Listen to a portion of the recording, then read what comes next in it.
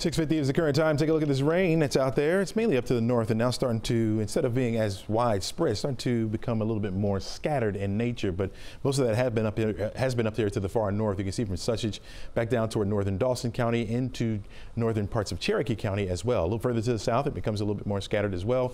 North of Fulton County, heading into Roswell, you got some light rain. A few little moderate pockets in there. Very, very isolated this morning.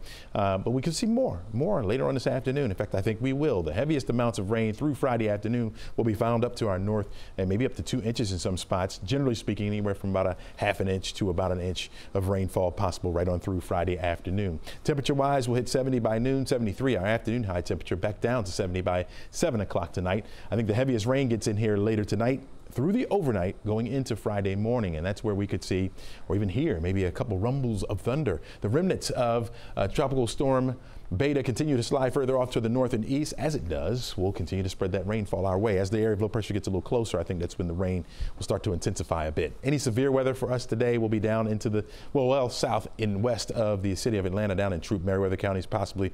Uh, that's where you have the marginal risk for severe weather. This light green just means a general threat for thunderstorms for today. Could have some gusty winds with it. I think the winds will pick up anyway this afternoon out of the east.